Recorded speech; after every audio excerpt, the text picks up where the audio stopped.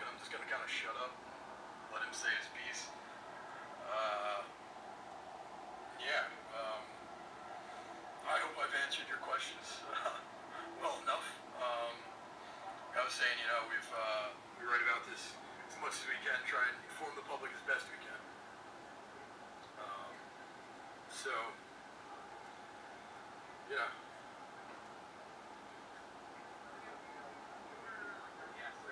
I'm not entirely sure I uh, understand you. I, still, I suppose we still have time for more questions. Doesn't look like I see the governor.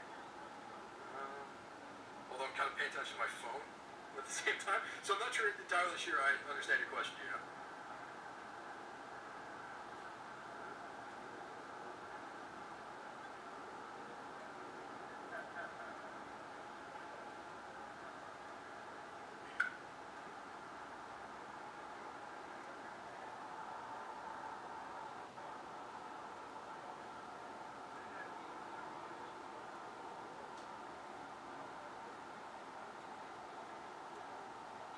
Be honest with you, Mom's getting a little tired here too, holding this thing.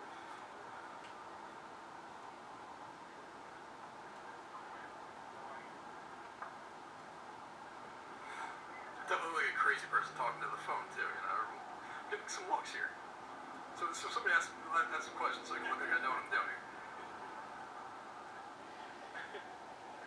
Thank you, Chad.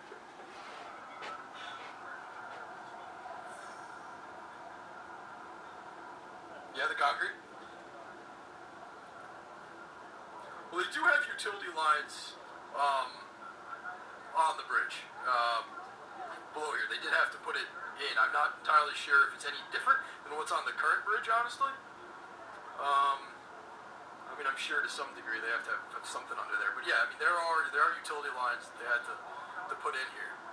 Um, but I, I don't know if it's if it's any different than what they had on the new bridge, or if it's any more or less, or, or details there really. Uh, maybe that's something I should should look into. Um,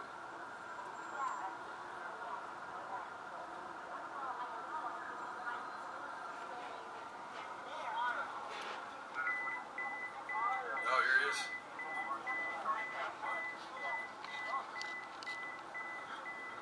What's going on there now? So most of the work going on, and I'll see enough of the governor. I'm sure you see him all the time. Um, they're doing the work mostly on the main span. Is what's going on right now. Um, because if they're going to finish it by you know sometime middle-ish of next year, uh, they got to finish.